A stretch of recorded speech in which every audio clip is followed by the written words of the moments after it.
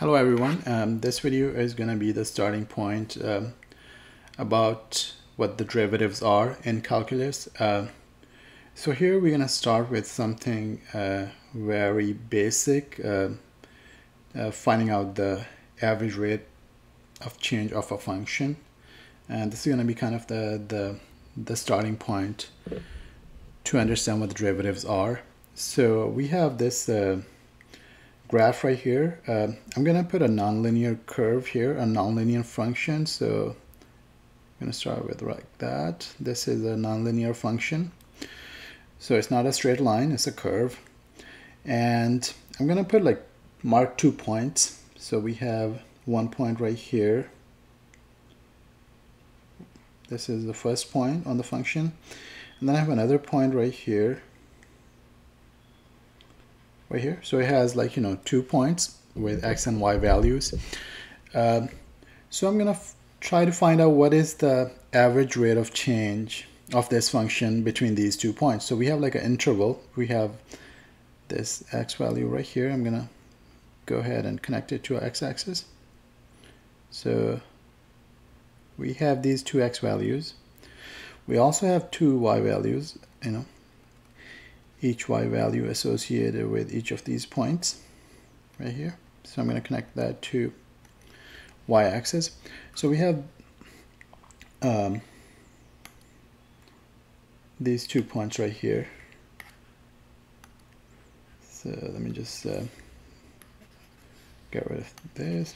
There we go. All right. So um, if we want to find out the average rate of change over this interval, either you know, the x interval, we basically um, take the y value here and subtract the y value, this one from here and divide it by the the change in the x value, which is the slope of this, you know, and um, it's going to be the slope formula. So it would be basically the slope of the line that passes through these two points. So this is what we have right here okay. So average rate of change of a function over an interval is basically the slope of the linear line that passes through these two points. So if we mark these two points this looks like a you know for argument's sake I'm going to say x equals 0.5 and this is x equals 4 and the y value is y equals 1 and here the y value equals 3 y equals 3 okay? So the slope of this line then would be basically just the change in the slope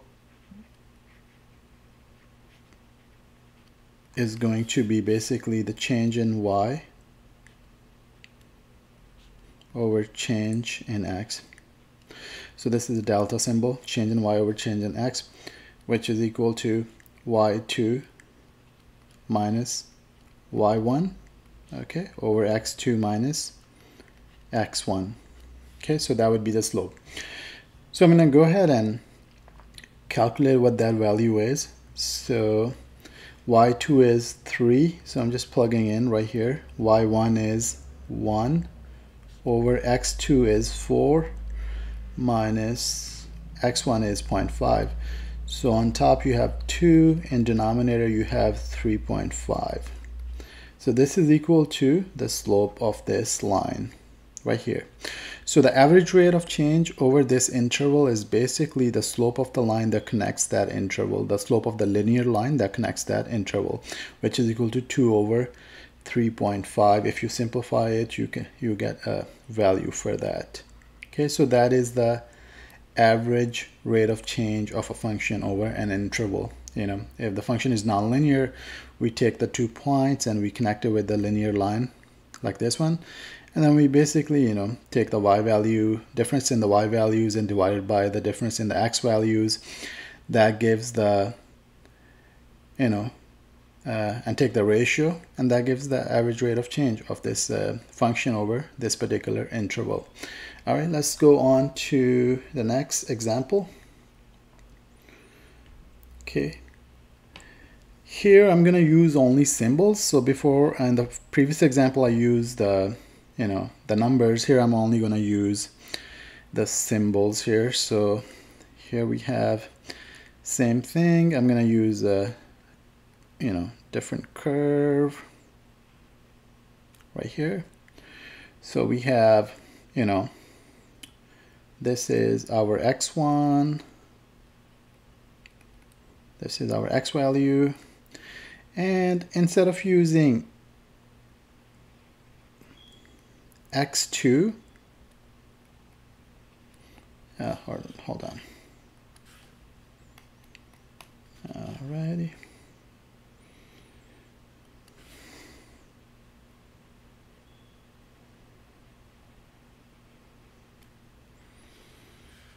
Mm -hmm. All right. All right. So here we go. So I'm gonna use another for the second one I'm gonna use x plus h a little different than previous example. So this means the interval is h units long. Interval is h units long. So interval is h units long. Okay. All right. So now we have two points, x and x plus h, and the x plus h is h units away from x. And we have, so the y value for this particular x is going to be f of x. So I'm going to mark that. Okay, so it's f of x, right? The function value at x that's what means the function value right here. So and this one would be the function the value of the function at x plus h. So this is your second y value y2 this is your y1 okay. So I'm just using the symbols you know the letters versus the values that I use in the first example. So how do you find the slope of this particular in this particular scenario? So we know the slope is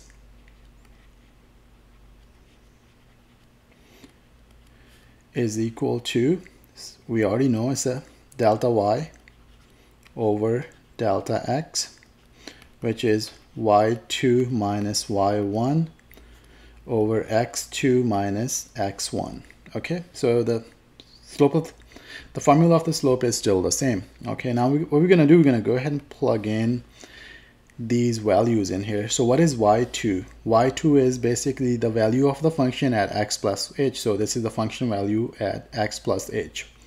So this is f of x plus h. Subtract the y1. What is y1? y1 is the, the value of this function at x, which is f of x. And then you divide this by x2 minus x1. What is x2? x2 is x plus h minus the x1 is right here. So this is equal to x1. This is equal to x2 is just x right here. So all we're doing is taking these values and substituting in here. So this is equal to m, the slope of the function. So f of x plus h minus f of x divided by, if we simplify the denominator, this x cancels this x, so you're left with just h. So the slope of a function is defined like this, okay? So that's uh, the equation that, um, the reason I uh, did this particular pro problem in this uh, manner is that this equation is going to be very helpful when we actually go ahead and you know find out the derivative equation and uh, uh, learn about the derivatives later on. So this is a very important uh, exercise to look at before we go into uh, the next video. So hopefully it would help. Thank you.